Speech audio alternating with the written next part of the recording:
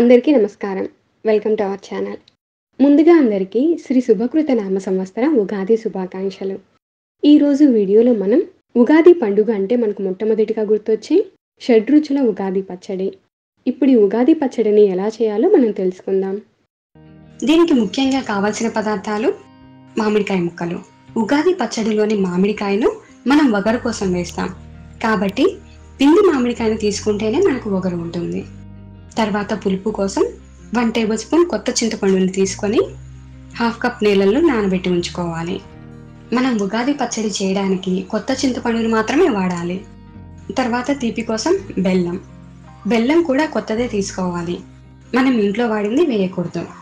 తర్వాత షడ్రుచులలో ఒకటైన ఉప్పు తర్వాత కారం. ఈ ఉగాది పచ్చడిలో కారం కోసం నేను పచ్చిమిరపకాయను వేస్తున్నాను.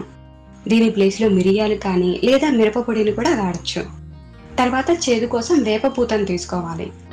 మనం ఉగాది పచ్చడిలో వేయడానికి వేపపూతను మాత్రమే కాడలు లేకుండా ఇలా పూతను తీసుకోవాలి. ఇప్పుడు ఈ షడ్రుచులతో మనం ఉగాది పచ్చడిని ఎలా చేయాలో తెలుసుకుందాం. దీనికి ఒక బౌల్ తీసుకొని ఇందులో మనం నానబెట్టిన చింతపండును రసం తీసివేయాలి. తర్వాత త్రీ టేబుల్ స్పూన్స్ పిండి మామిడికాయ ముక్కలు తరిగిన పచ్చిమిరపకాయ ఒకటి వన్ టేబుల్ స్పూన్ వేపపూత